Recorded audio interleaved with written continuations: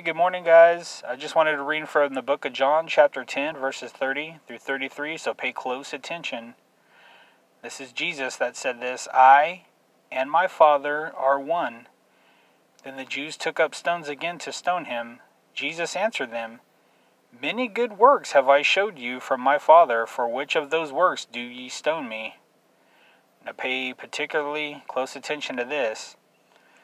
The Jews answered him, saying, For a good work we stone thee not, but for blasphemy, and because that thou, being a man, makest thyself God. See, now Jesus never came straight out and said, I am God. You know, he made himself of no reputation, but he was humble. The only thing he said is, I and my Father are one.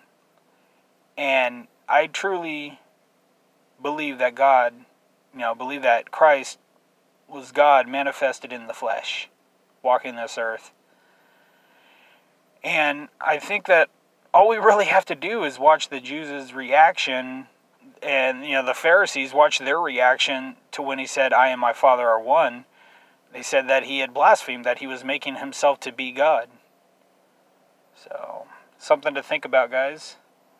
But uh, stay blessed and have a good day, guys.